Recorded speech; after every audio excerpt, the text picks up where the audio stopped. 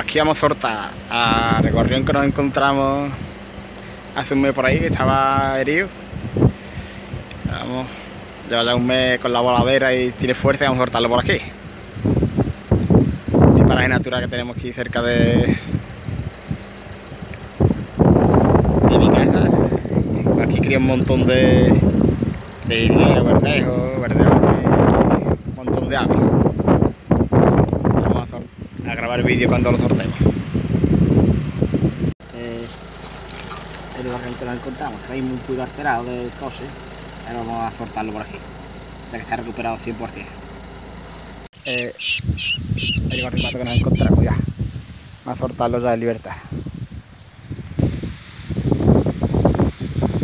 Ya. ¿Cómo vuela?